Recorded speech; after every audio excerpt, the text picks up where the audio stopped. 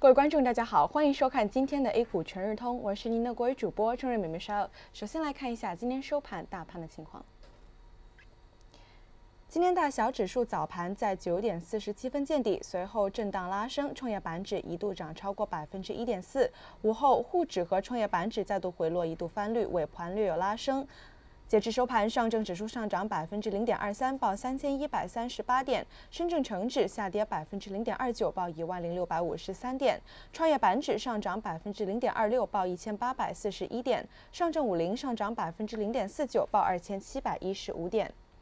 截至收盘，两市总成交额的最新数据是四千三百六十八亿元，对比昨日缩减三百六二五十二亿元。两融余额截至上一个交易日九千九百七十七亿元，缩减六十二亿元。股份涨跌数目截至收盘上涨一千五百八十六家，下跌一千五百四十七家。看一下今天沪深港通的情况，今天沪港通北向融资余额一百零五点九九亿元，深港通北向融资余额一百二十点一五亿元。今天沪股通净流入二十四点零一亿，深股通净流入九点八五亿。从盘面上来看，今天海南、自由贸易港、军工等板块涨幅居前，家电、养殖等板块跌幅居前。在今天的中信一级板块上，领涨的是国防军工、钢铁和计算机板块，其中国防军工涨幅超过百分之二点七，钢铁和计算机涨涨幅超过百分之一。领跌的是家电、农林牧渔和商贸零售板块，其中家电跌超过百分之一点八，农林牧渔跌百分之一点三，商贸零售跌不足百分之一。再来看一下，截至上一个交易日的十大活跃个股数据更新是四月四日的数据。排名第一位的是伊利股份，总成交七点一六亿，净买入一点七九亿。排名第二位的是恒瑞医药，总成交六点九二亿，净买入零点零一亿。接下来还有贵州茅台、五粮液、海螺水泥。排名后五位的是中国平安、美的集团、中信证券、格力电器和洋河股份。接下来我们来看一下今天的焦点新闻。首先关注一节今天盘面上的情况。今天卫星导航概念股集体拉升，华策导航、移动通信等四只个股涨停，和众、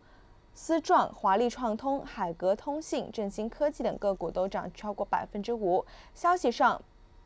北斗地图 APP 将于五月一日上线，其导航功能可精确到一米以内，能够清晰定位到具体的车道。目前，商业领域的位置服务和导航等领域仍然要依赖美国的 GPS 系统。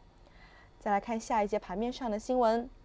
今天国内期市收盘也是多数飘红，农产品继续维持强势，其中菜粕和豆粕双双收涨超过百分之四，豆一、豆二、鸡蛋涨超过百分之二，化工品则普遍走升，甲醇涨超过百分之三，PVC 涨近百分之三，黑色系有色金属表现分化，热卷、螺纹钢涨超过百分之二，沪铝涨超过百分之一，沪锌则跌超过百分之一。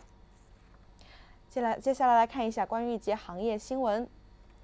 四月九日，工信部部长苗圩九日在深圳举行的第六届中国电子信息博览会上表示，二零一七年中国规模以上电子信息制造业收入超过十三万亿元。软件和信息技术服务业收入突破五万亿元，航体行业整体规模超过十八万亿元。目前，中国作为全球最大的电子信息产品制造基地的地位更加巩固，手机、微型计算机、网络通信设备、彩电等主要产品产量继续居全球首位。来看下一节新闻，四月九日。韩长斌在博鳌亚洲论坛上表示，乡村振兴战略初步设想具体有五个加强、五个推进、一个加强。第一是要推进农业的高质量发展，第二是要大力实施农村整治环境的三年计划，推进农村垃圾处理和污水治理；第三是推进农村基础设施建设；第四是推进农村服务改善医疗、教育、文化、公共服务；第五是推进人才队伍建设。而刚刚讲到的一个加强，就是要加强乡村振兴的政策。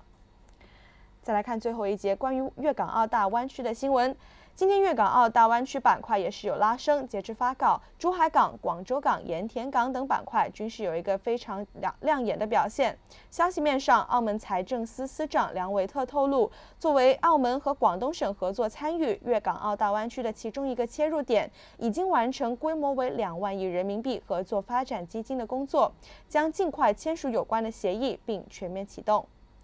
以上就是今天全部的节目内容了，感谢大家收看，我们明天同一时间再见。